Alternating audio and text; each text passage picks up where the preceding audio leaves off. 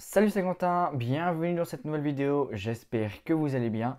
Dans celle-ci, on va parler de l'addiction du tabac dans le sport, autrement dit une chose qui est totalement incompatible. Il faut savoir qu'en France actuellement, il y a en moyenne à peu près 12 millions de fumeurs réguliers. Et une étude précédente a prouvé, a montré que 24% de ces 12 millions de fumeurs sont des sportifs réguliers. Il faut savoir que le sport ne protège en aucun cas des effets néfastes de l'addiction au tabac, peu importe la forme, que ce soit de la cigarette, de la chicha, du cannabis ou même de la cigarette électronique. Ce n'est pas parce qu'on fait du sport que l'on est immunisé face aux effets néfastes de tout ça. Et aujourd'hui, on va donc parler des effets néfastes, des répercussions que a le tabac dans le domaine du sport vis-à-vis du sportif, mais également de la santé globale des personnes. Alors il faut savoir que l'addiction au tabac, c'est très mauvais pour la santé globale.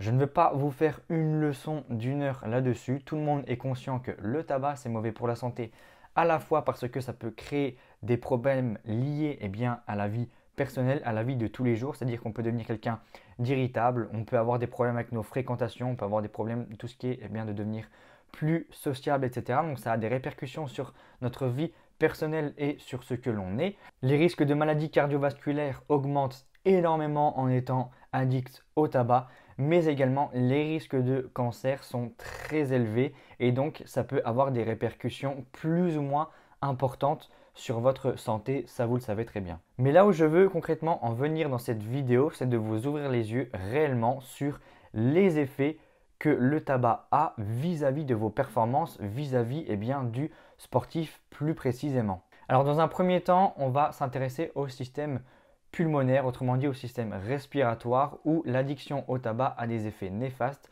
comme par exemple, eh bien, ça peut provoquer des crises d'asthme, ça peut eh bien, provoquer une perte de souffle, un manque d'endurance, autrement dit, vous aurez beau eh bien, vous entraîner d'un côté au niveau du cardio, par exemple, à faire du fractionné, à faire du sprint, à faire de la course ou autre. Si vous fumez, eh bien, tous vos efforts peuvent être réduits à néant à cause du tabac. Dans un second temps, il va y avoir de très grosses répercussions néfastes sur le système cardiaque. C'est-à-dire que le transport d'oxygène dans le sang va être réduit. Autrement dit, les muscles indirectement eh bien, auront beaucoup moins d'oxygène, seront beaucoup moins oxygénés. La fatigue musculaire arrivera beaucoup plus vite, mais également le transport de nutriments au niveau des muscles, le transport d'énergie se fera eh de façon moins importante. On va perdre en nutriments, on va perdre en oxygène ce qui va créer de la fatigue musculaire, mais également un manque d'énergie très important. Mais également, ça va avoir un impact aussi sur la récupération, étant donné que celle-ci sera beaucoup moins optimale. Donc, comme vous le savez tous, le système donc cardiovasculaire, le système cardiaque, c'est réellement la pompe qui envoie tout ce qu'il faut à nos muscles, tout ce qu'il faut à notre organisme et à notre corps.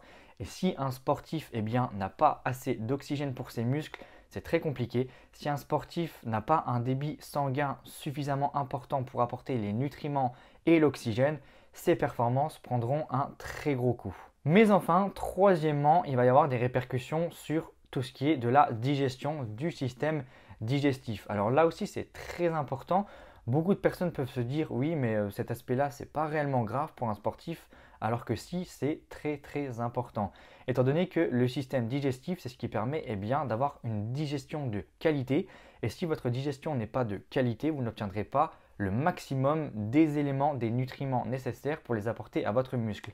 C'est-à-dire que si votre digestion n'est pas optimale, votre alimentation, vous aurez beau manger eh bien, très bien, vous n'en obtiendrez pas 100% des bénéfices de manger de façon saine et variée. Ce qui va donc créer eh un manque de nutriments, un manque d'apport en énergie, mais également un problème au niveau de la digestion, c'est-à-dire que durant l'effort, vous pourrez avoir des crampes ou des brûlures, autrement dit une gêne qui vous empêchera eh d'être totalement à l'aise et d'être performant. Concrètement, l'addiction au tabac dans le domaine du sport, c'est une très mauvaise habitude qu'il faut retirer le plus rapidement si vous souhaitez atteindre vos objectifs, si vous souhaitez eh être performant. également, un conseil que je peux vous donner si vous êtes fumeur ou autre, arrêtez impérativement tout ce qui est de la cigarette après l'effort. Des personnes eh bien, pensent que elles ont besoin eh de se faire du bien, elles ont besoin d'aspirer toutes les substances, etc après l'effort, arrêtez là parce que ça a été prouvé qu'il y a de très très mauvaises répercussions sur les artères, ce qui peut amener à de très grosses complications directement après un effort. Mais également, comprenez que la cigarette, le tabac et le sport, c'est très mauvais ménage et ça vous fera perdre énormément de performances. Alors certes, il y a des personnes qui arrivent à avoir des performances correctes en fumant, c'est-à-dire qu'elles ont autant de performances qu'une personne qui ne fume pas. Cependant, imaginez si ces personnes retiraient cette habitude, retiraient cette addiction, ces personnes eh bien, exploseraient et seraient bien plus performantes. Donc si vous voulez des performances sur le long terme, si vous voulez atteindre de gros objectifs, si vous voulez vous fixer de gros objectifs, arrêtez la cigarette directement, c'est une très mauvaise chose.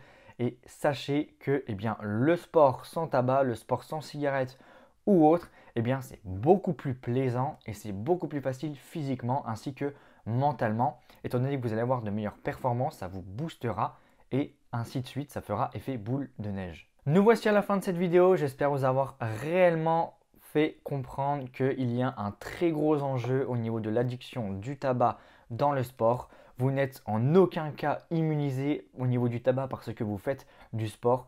Beaucoup de personnes de nos jours eh bien, pensent que, étant donné qu'elles courent tous les soirs, elles peuvent se permettre de fumer. Alors, absolument pas. Imaginez si par contre vous allez courir tous les soirs et que vous ne fumez pas, vous aurez une santé de bien meilleure qualité. Pour les plus motivés et pour vous remercier de m'avoir écouté jusqu'à ici, je vous débloque un lien dans la description qui vous permettra d'accéder à une série de 4 vidéos 100% gratuites et 100% offertes. C'est en réalité une formation en ligne qui vous permettra d'obtenir un premier accompagnement en ligne avec moi, que je puisse vous aiguiller eh bien, à obtenir de meilleurs résultats, de meilleures performances et justement faire une sorte de bilan au niveau de votre environnement et de vos habitudes pour pouvoir retirer tout ce qui est négatif et garder uniquement le positif pour avoir de meilleurs résultats. Ces vidéos, je les ai donc créées moi-même grâce à mon expérience, grâce aux techniques que j'ai mises en place, mais également aux conseils que des personnes bien plus expérimentées m'ont donné. Et en plus de ça, je vous laisse un e-book offert qui vous permettra d'avoir d'amples